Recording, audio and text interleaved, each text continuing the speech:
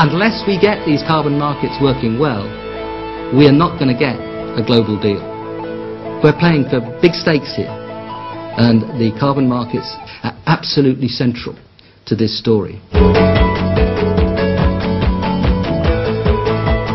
We need to make sure that carbon, reduction in carbon emissions, is seen as an asset, an asset that can be traded, it can be sold and bought by individuals, by companies.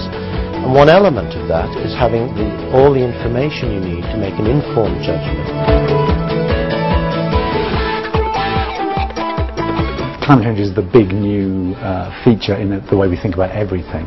The reason being that we're entering a period of scarcity, an age of scarcity, and one of the key areas of scarcity is carbon. And the potential of climate change is that either we won't get our carbon emissions down and there will be huge climate change, or that carbon becomes rationed, either by price or by regulation.